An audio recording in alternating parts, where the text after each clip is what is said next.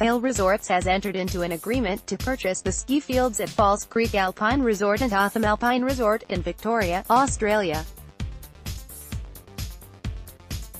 Falls Creek is Victoria's largest ski resort, features a variety of terrain including fantastic beginner and intermediate trails that are well suited to families and first-timers. Hotham is the only resort in the southern hemisphere where the village is located on top of the mountain, ensuring ski-in, ski-out opportunities from anywhere in the village. The acquisition, which is subject to certain regulatory approvals, is expected to close prior to the commencement of the Australian snow season in June 2019.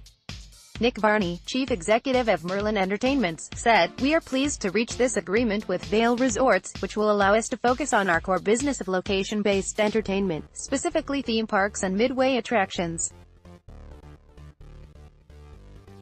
It will see the business transfer to a company with a strong track record in ski resort development, and we wish Vail Resorts and the teams in Australia well. Vail will purchase Australian Alpine Enterprises Holdings and all related corporate entities that operate Falls Creek and Hotham Resorts from Living and Leisure Australia Group, a subsidiary of Merlin Entertainments, for a purchase price of approximately $174 million. The deal represents a multiple of 8.8 on 2018 EBITDA.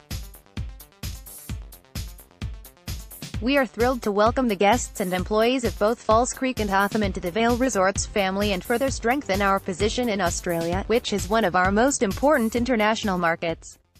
The acquisition of the leading mountain resorts in Victoria is part of our continued strategy to drive season pass sales and build loyalty with guests from around the world, said Rob Katz, Chairman and Chief Executive Officer of Vail Resorts.